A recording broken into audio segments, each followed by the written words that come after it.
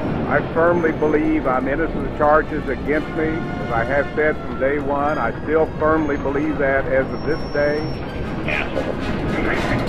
If you can do anything you can, please help us.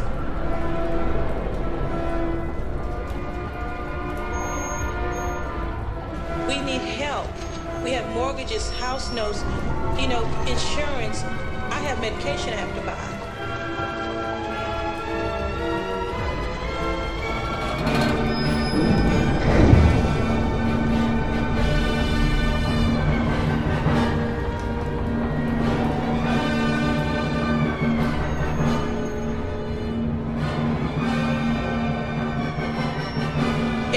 has a vacant look in their eye because we don't know what to do.